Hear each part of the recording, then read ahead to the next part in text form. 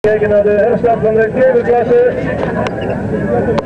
Kijken of ze alle ronden kunnen rijden zonder dat we een extra tussenpauze in moeten lassen. Dat is met een uitstekende start van de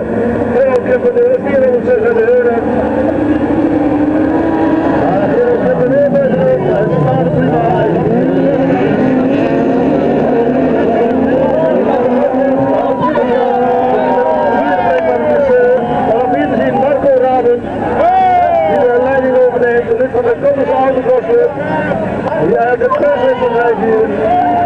Tussen morgenavond en van het